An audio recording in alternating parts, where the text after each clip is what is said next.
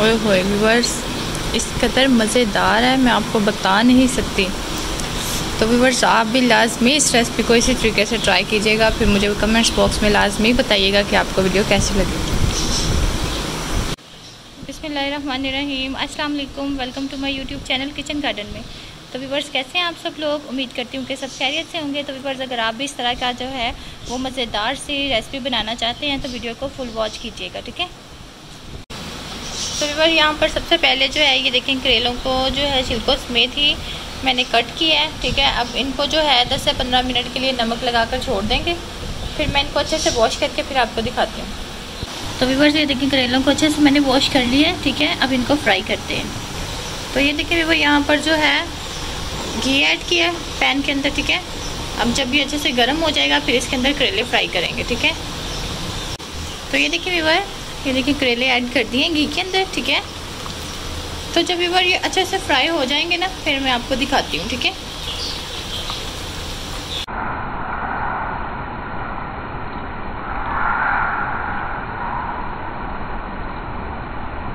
तो ये देखिए वीवर यहाँ पर जो बाकी के भी सारे करेले थे, वो मैंने ऐड कर दिए।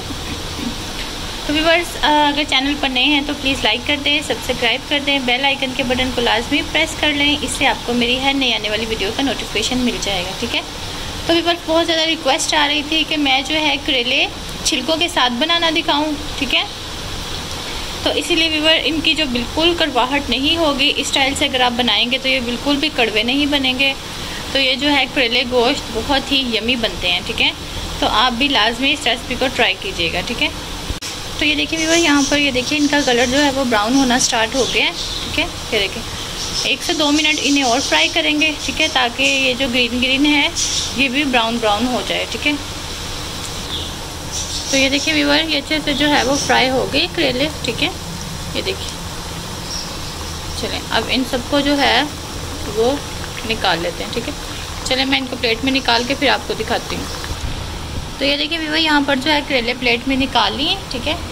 अब अनियन फ्राई करते हैं। तो ये देखें व्यूवर, उसी पैन में जो है, आपने ये देखें टू मीडियम साइज़ के अनियन है, उनको इस तरीके से मैंने चॉप कर लिया है, ठीक है? बारीक स्लाइसिस में काट लिया है। ये देखिए अच्छे से जो है इनको फ्राई करेंगे, ठीक है?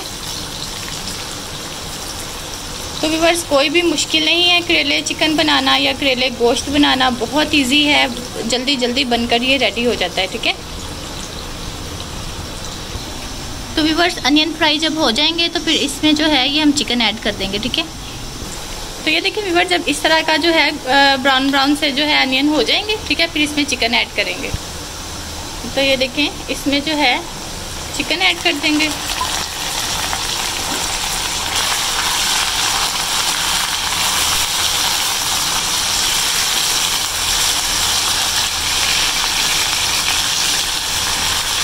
अच्छे से जो है आपने इसको फ्राई कर लेना है घी के अंदर, ठीक है? अलग से इसको फ्राई करने की ज़रूरत नहीं है। ऐसे ही इसको अनियन के साथ ही फ्राई कर लेंगे, ठीक है?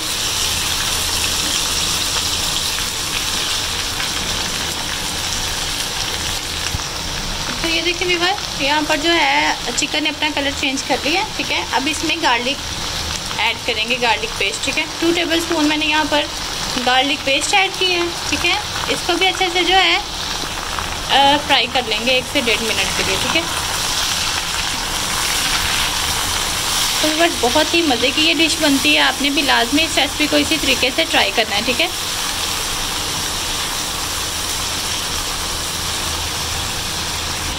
तो अब जो है वीवर्स इसमें टमाटोज़ ऐड कर देंगे। ये देखें टू मीडियम साइज़ के टमाटोज़ हैं, ठीक है? वो ऐड कर देंगे। अब साथ ही इसके जो है ग्रीन चिलीज़ ऐड कर देंगे। तो ये देखिए वीवर्स अब जो है इसमें ग्रीन चिलीज ऐड करेंगे, ठीक है? अब इसमें स्पाइसेस ऐड करेंगे। तो वीवर्स अब जो है इसमें ये देखें स्पाइसेस ऐड करें ये रेड चिली पाउडर ऐड किया है। हाफ़ टी स्पून इसमें turmeric powder one tablespoon इसमें रेड चिली पाउडर ऐड किया है, ठीक है? अब जो है वीवर्स इसमें वन टेबल स्पून भरकर सूखा धनिया ऐड करेंगे, ठीक है? हल्का सा जो था, इसको दरदरा सा कर लिया था, ठीक है? वो ऐड करेंगे। चलें। नमक व्यूवर्स अभी मैं इसमें ऐड नहीं कर रही हूँ, क्योंकि मैंने करेलों को भी नमक लगा कर रखा था। तो नमक चेक करके फिर मैं इसमें ऐड करूँगी, ठीक है? तो वीवर्स अब जो है, इसको ढक दूँगी तकरीबन दो मिनट के लिए, ताकि जो टमाटोज़ हैं, वो अच्छे से मैश हो जाएँ, ठीक है? आप चाहें तो इसमें हल्का सा पानी भी ऐड कर सकते हैं, लेकिन मैं इसमें बिल्कुल भी पानी ऐड नहीं कर रही हूँ, क्योंकि मैंने चिकन को फ्राई कर लिया था, ये अच्छे से गल चुका है, ठीक है? तो ये देखिए वीवर अच्छे से जो है ये हमारा मसाला रेडी हो गया, ठीक है? ये देख सकते हैं आप, ये देखिए। बहुत ही मज़े की वीवर्स खुशबू आ रही है, अब इसमें जो है हम करेले ऐड कर देंगे, ठीक है? तो ये देखिए वीवर इसमें जो है ये फ्राई किए हुए करेले ऐड कर देंगे, ठीक है? ये देखिए। चलो। अब इनको अच्छे से जो है वो मिक्स कर लेंगे। तो चलें वीवर्स मैं आपको इसकी फ़ाइनल लुक दिखाती हूँ, ठीक है? तो ये देखिए वीवर्स बहुत ही मज़ेदार ये हमारी जो है करेले गोश्त की रेसिपी बनकर रेडी हो चुकी है। तो वीवर्स वीडियो अच्छी लगी हो तो प्लीज़ लाइक करें सब्सक्राइब करें बेल आइकन के बटन को लाजमी प्रेस करें। इससे आपको मेरी हर नई आने वाली वीडियो का नोटिफिकेशन मिल जाएगा। तो दुआओं में याद रखिएगा, अपना बहुत सा ख्याल रखिएगा। मिलते हैं अपनी नेक्स्ट वीडियो में। तब तक के लिए अल्लाह हाफिज़।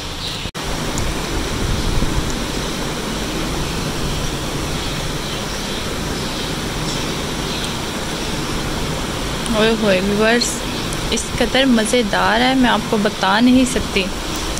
तो व्यूवर्स आप भी लाजमी इस रेसिपी को इसी तरीके से ट्राई कीजिएगा, फिर मुझे कमेंट्स बॉक्स में लाजमी बताइएगा कि आपको वीडियो कैसी लगी।